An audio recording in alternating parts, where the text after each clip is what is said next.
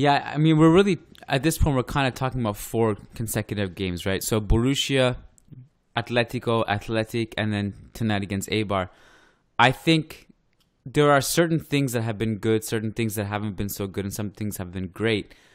Um, when we're talking about kind of maybe some of the up and down stuff, like against Atleti, for example, Lucas Vazquez has really struggled, and so did Vinicius, um, offensively anyway, because Atleti are so good at taking that space away. Athletic, before Raul Garcia's red card, we were talking about how difficult it was to escape pressure. So you kind of saw that improvement today. And and then when it, when Raul Garcia did get his red card, there were struggles breaking down the lower block. But against Athletic and Atletico, where the defense was really good, you saw better movement from the team. You saw more fluidity, which I think helped. And you also saw conversion of crosses, which has not been necessarily the norm. I think a constant throughout these four games, there have been a few. The few constants have been Modric and Kroos have been awesome. Benzema too. So those are three constants that have like the uptick in form in those three.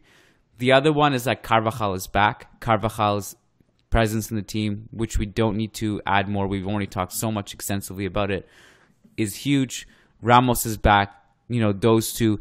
And Varane, from a defensive standpoint, has been awesome for some time now.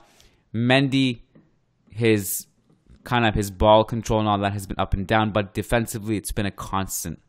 So those are some of the reasons why the defense has been good.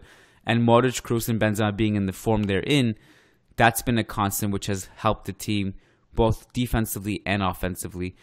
And so I so I think it's a it's a little bit of a roller coaster. It's a great stretch. You know, some of the questions from journalists to Zidane today and yes uh, against Athletic last week were kind of like, well, you were good against Borussia Atletico, but you struggled today. And I think that's kind of a harsh assessment. I think these are difficult games regardless. And I think Real Madrid have done really well. I think, you know, the preparation has been pretty well on point for these four games and people are in good form. So I think that's that's been good. So I guess if the